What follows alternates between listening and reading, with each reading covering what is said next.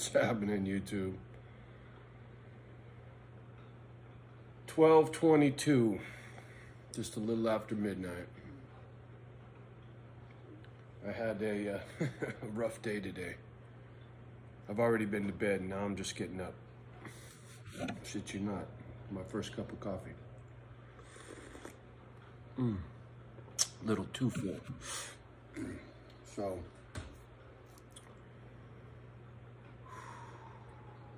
man, this video is going to be a little rough. So, please do me a favor. Don't forget to do this. I got to try to remember this because if I remember, you'll remember. That's all it is. Please. So, I got stuck in the fucking snow again because the ground's iced up. Couldn't get no traction. Right out this window, I drove a little too far forward and the front tires beep, sunk in the snow and I couldn't back it out. So, stubborn. I'll do it my way. Didn't work out too well. Spent most of the day trying to get that motherfucker out. Had to put a come along up and I got it out, so. Physically, I was exhausted, which is a good thing for me. When I get physically exhausted, it's um, it's therapy. Helps with the demons. Man, Kimba's rolling around on the floor. So I fell asleep really early and. Uh, woke up to some noise. You know, living out here in the country, I'm still got a little getting used to. And so while I was laying in bed,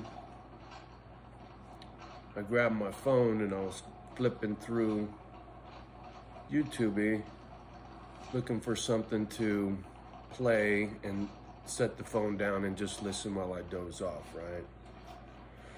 There's a YouTube channel I follow, Medford Knives you know, knives. This is a limited edition, by the way. Real special scuba diving knife. Anyway, I was listening to this gentleman speaking from Medford Knives and um, touched my heart what he was saying. I'm gonna link it below. It's political right? It's um, it's the truth, as far as I'm concerned. And here comes the shit part, right? See, the thing is, baby's mama came to Cali, and part of her fucking hustle was to get knocked up in Cali because child support paid double. So she was already planning on stealing my kid before she had a bun in the oven. She got drunk and threw that in my face once. That's how I know. That, that was like some fucking family secret that wasn't supposed to get out, right? And I tell this story because my kid fucked me off. See, the thing is, baby's mom was from Portland, Oregon. And so my daughter was raised in Portland, Oregon, and because she's half Filipino and half white, her political views and her broken makes it so that we'll never speak again. I have no doubt. The last time we spoke, her and I, I was still drinking. I was I was a wreck, you know. She throws in my face, I'll never speak to you again unless you talk to a shrink. I get it. And to a certain extent, she was right. She just didn't know my character. She didn't know I could do this myself, and I did, right? So, baby's mama gets knocked up, steals my kid from me, takes her to Portland, Oregon, and my kid starts working for an immigration attorney. She hooks up with some fucking dude with a beard, older cat.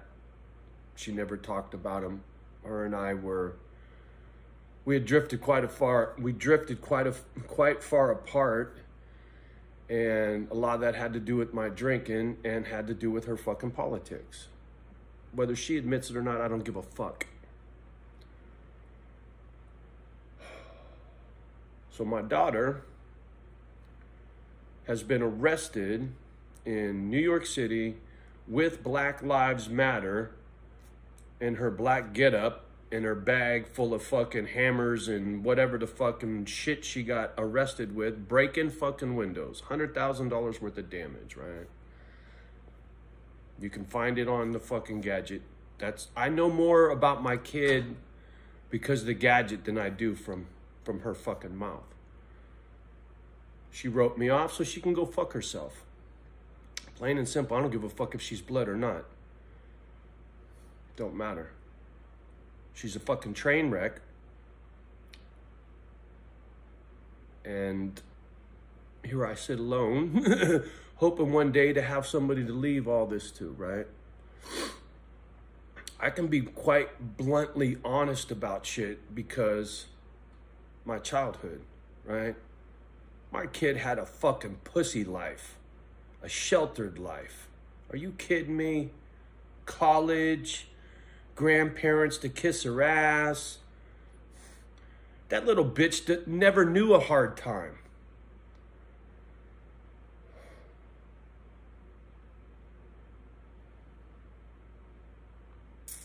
I'm trying to rein it in a little bit.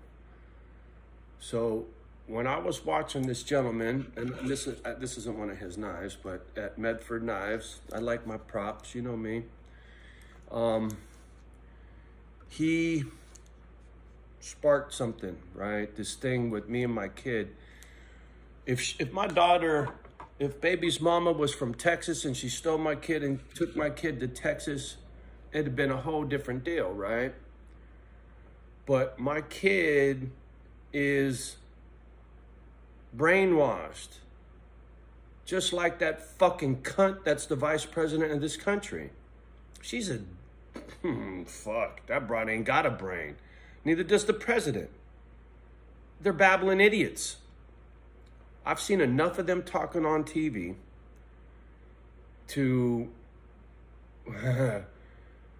make me feel very confident in what I say when I talk about them. The president, the, the, the, the, half the fucking time he doesn't make any sense at all.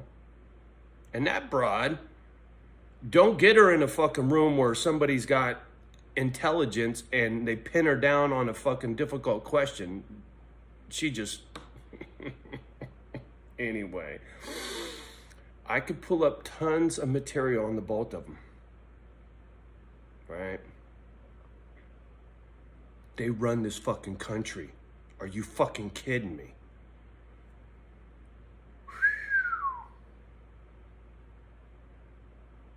It pains me to speak like this about my daughter. I don't do this with, I'm not flippant about this, you know what I'm saying? I know making this video just drives another nail in the coffin when it comes to the death of the relationship to me and my kid. Fuck her. Too fucking bad for you, kid.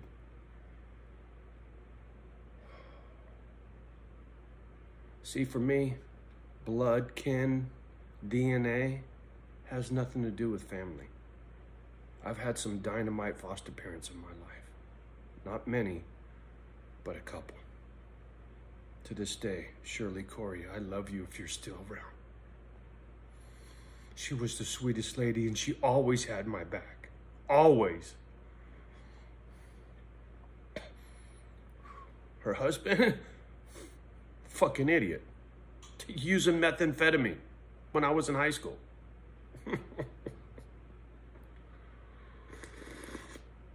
He's dead. Mm. Aaron Corey, if you ever see this, I'd love to talk to you, man. He was he was their kid. He was my foster brother.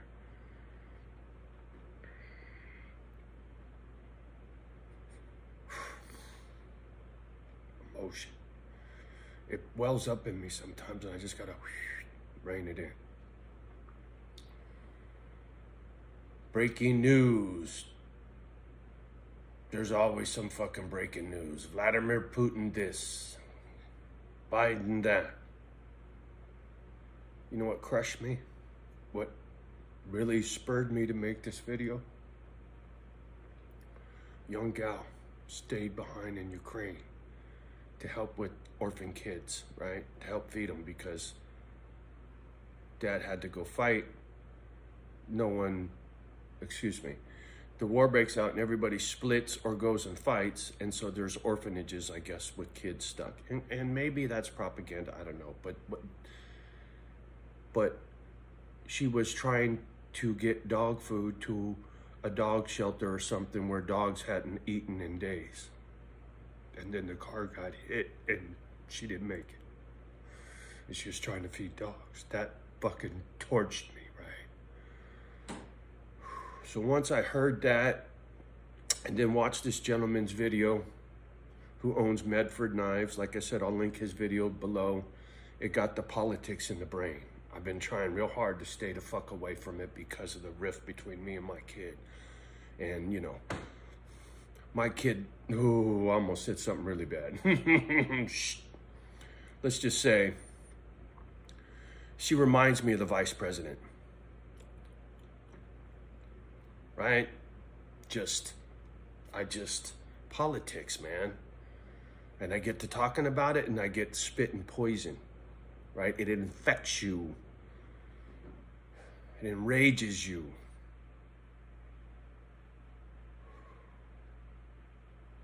Slow down, Johnny. Dr. Jekyll and Mr. Hyde, how you doing? Look, like I spoke before about trust issues, right?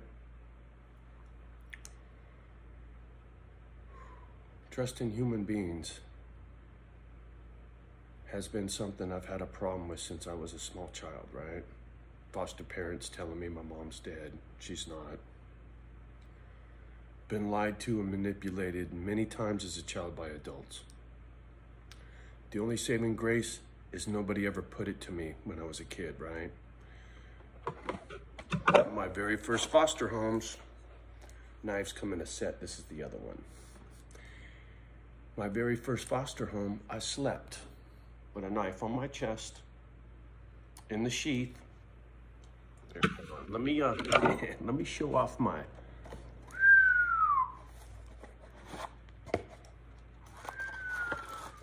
I love my props. I got two. They're different sizes. This Is yeah, this is the one that goes in here. But this goes in here and it's got this little button, right? Thing, snaps in there. So when you're scuba diving, right? Anyhow, back on point, Johnny. I slept with a knife like this in the sheath so that I wouldn't cut myself, right? Being in a Boy Scout, they let me have a knife. And if the foster parents, gotta push the button, were gonna come get me, I was gonna stab them in the face if they were gonna molest me. Never happened, but I had that fear because I heard other foster children talk about being molested, right? So I was scared.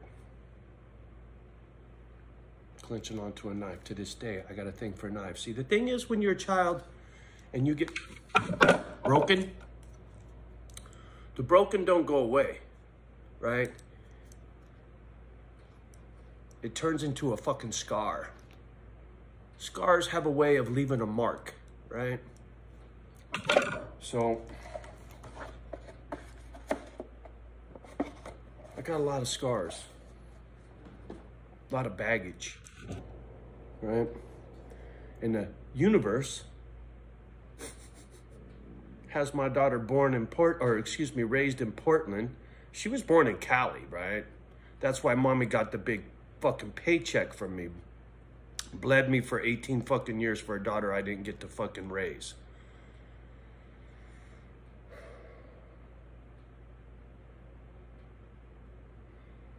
So now I sit here on Misfit Island, right? Johnny did it. I'm here.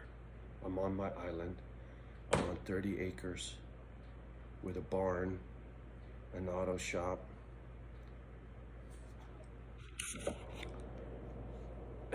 A guest house.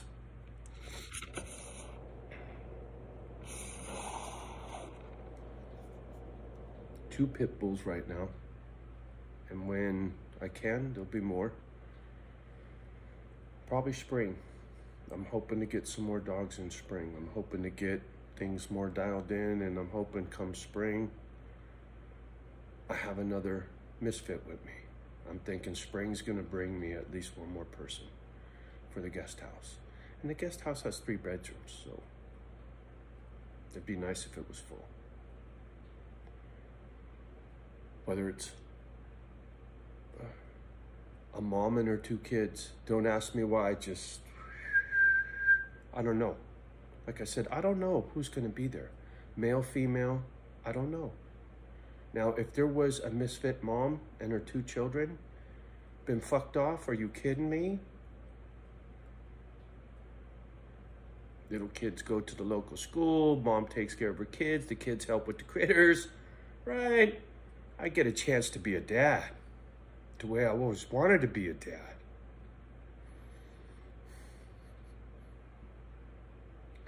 See, my dogs help me fulfill my fatherly calling, right? I always wanted to be a dad.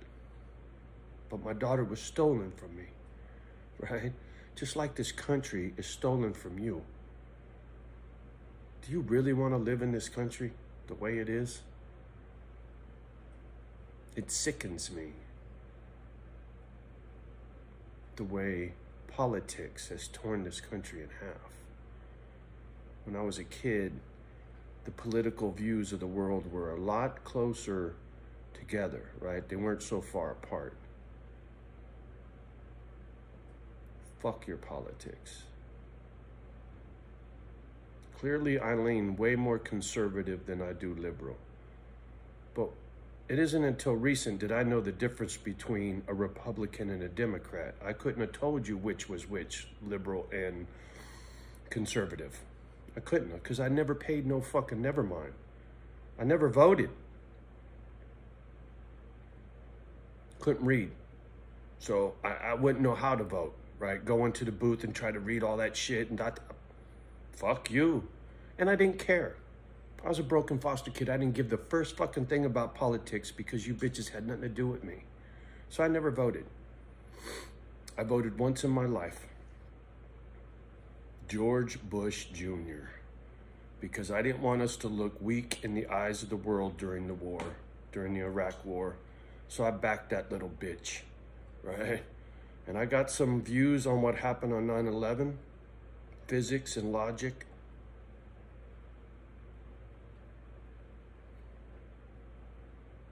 Each to their own. I'm not even going to touch that. You talk about getting your fucking channel fucked off.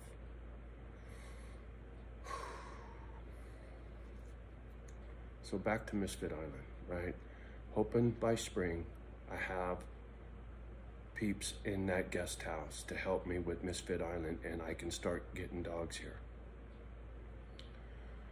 Weather's harsh. There will be no dogs cold. There will be no dogs hungry. So wherever they get housed will be warm and cozy. Like I've said it before and I'll say it again, they're gonna have little apartments. They're gonna be spoilt rotten. They won't live in a cage. They'll have little yards. They'll, whether it's indoor, outdoor, it doesn't fucking matter to me. I got this vision in my head what these dogs, the kind of life they're gonna have. They're gonna have the life that I didn't have as a kid. That's why I say I don't know who's gonna be in that house, but for some reason, a, a single mother and her two kids is screaming at me where I'm thinking I'm gonna have some busted up fucking, you know, uh, PTSD uh, military person or, you know, fucking ex-con or fucking, you know, busted up foster children, whatever. But now all of a sudden I'm thinking, oh, fucking might be a mom and her two kids, homie. You don't even fucking know who's going to be in that house. And I don't. And I don't fucking care. It's what's in here, right? Because gender doesn't matter when it comes to the doggies. And when it comes to getting physical work done, I'll do it, right? But I need somebody to tend to the dogs, the chickens, the cows, right?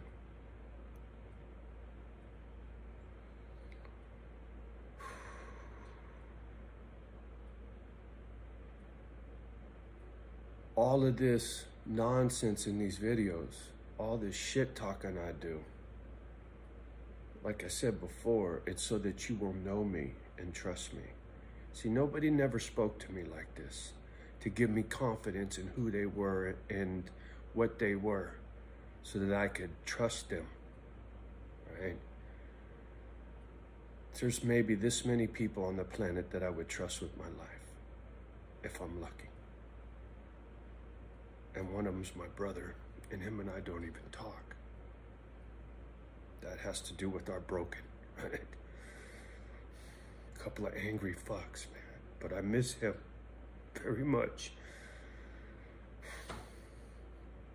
We share a lot of the same scars for the same reasons. He's just got a different personality than me, and he spent a couple years in San Quentin, so that will change you. See, I saw mom go to the funny farm. I saw my brother go to San Quentin, and my other baby brother, who's dead now,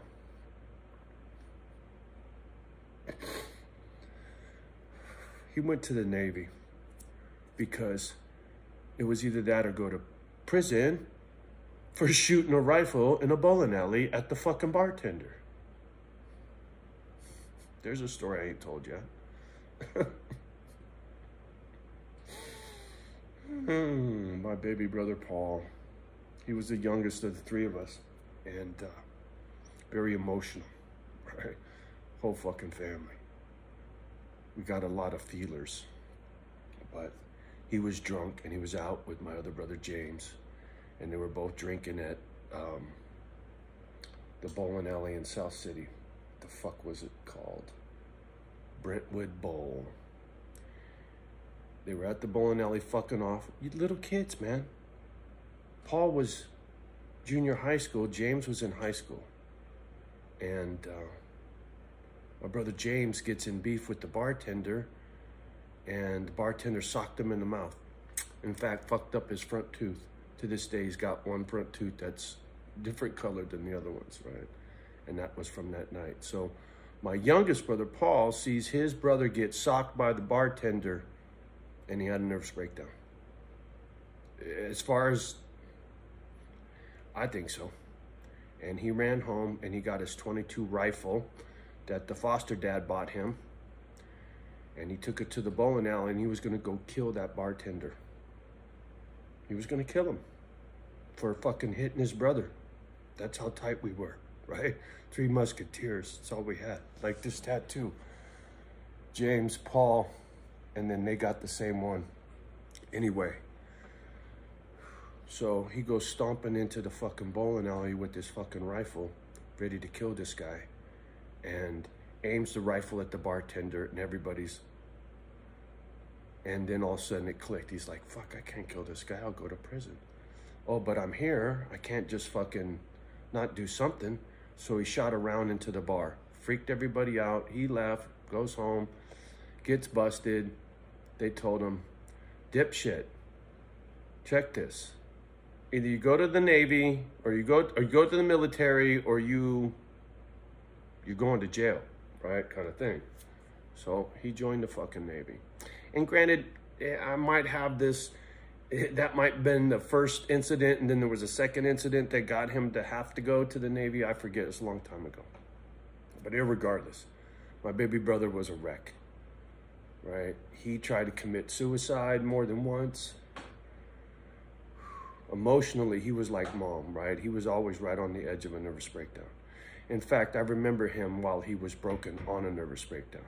He was like mom. He would talk and it wouldn't make sense and he would babble and just, oh man, it was fucking harsh to be around him when he was fucking, he went to the funny farm for two weeks. They had him on the fucking psych meds, the whole bit, man. So when I say I've been through some shit and I don't trust people, well, guess what, motherfucker? There's a good reason for it.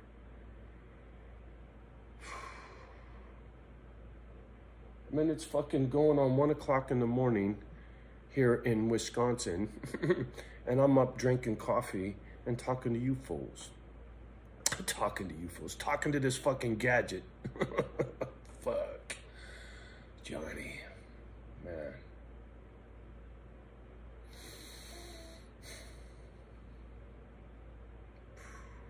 Stories, man. There are so many stories up here. That's why I say, sooner or later, I'll get the attention of somebody. Some baller, right? Like I keep saying, Keanu Reeves, because he's an INFJ. Something tells me he's got a heart of gold and he's a, he's got them pities in his movies for a reason, man. That just and I've seen I don't really follow him. I don't, you know, I don't know what he's all about. I know he rides bikes and he loves pit bulls and that's all I need to know. That's why I say it'll be a cat like that that does me right so I could do these doggies right, right? That paying it forward thing. A lot of rich people have guilt money, right? They got more money than they know what to do with, and it makes them feel like me, guilty, right? Like to me, this property and all this shit, it's it's too much, man. It's like I feel like I don't deserve it when I damn well know I deserve it, but it humbles me to have all this, right? And all of this is an $80,000 down payment on 300 grand, right? That's all what all this is. It's not fucking paid off, right? So, if I could build this out proper like, it would be fucking magic. Fucking magic. So whether it's a Keanu Reeves or it's a whoever, whatever, fuck out there, one of you bitches is gonna drop a big dime on me and I will shine like you can't believe I will shine. The 60 year old fuck will do magic in God's name, right? I wasn't raised with much religion, but being up here makes me want to go to church, right? Dear Lord, save me.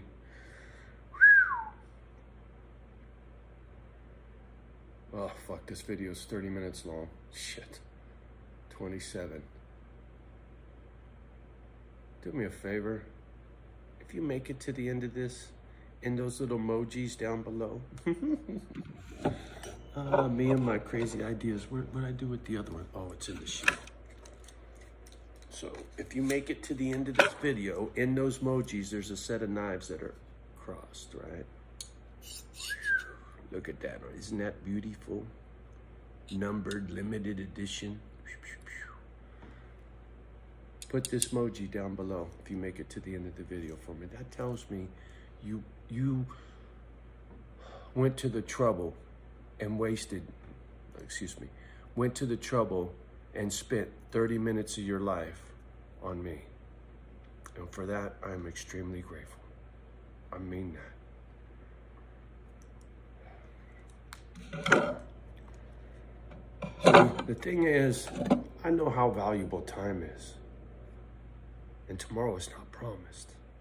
So for you folks to spend 30 minutes watching one of my videos tells me I'm a rock star already. The world just doesn't know it.